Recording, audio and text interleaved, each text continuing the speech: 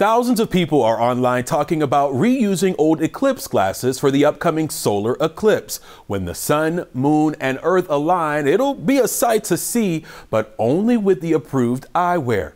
But is reusing old eclipse glasses an option for this year's solar eclipse?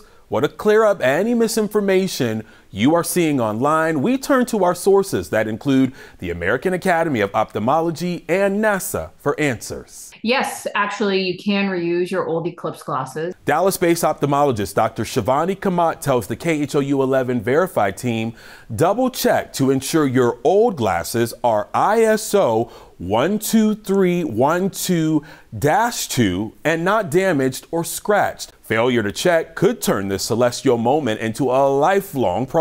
You can get something called solar retinopathy, which basically is um, damage to the macula the macula absorbs this light and it essentially burns it, and it can lead to permanent vision loss. Dr. Kamat says the first signs of damage will be blurry vision or a blind spot. Some people can have blurry vision that gets better with blinking, for example, or that goes away with artificial tears.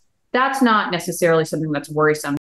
So the answer is yes, you can reuse old Eclipse glasses, but only if they are the approved eyewear and are not damaged, so you can enjoy the moment with no lasting effects. With your Verify, I'm Devon Raming.